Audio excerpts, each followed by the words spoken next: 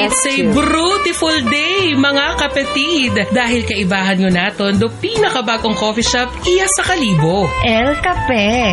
Bagong magapabugtaw ag magakumpleto sa atong mga adlaw. El Cafe.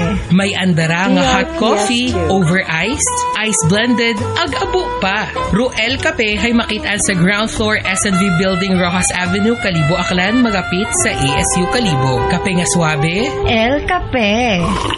with you.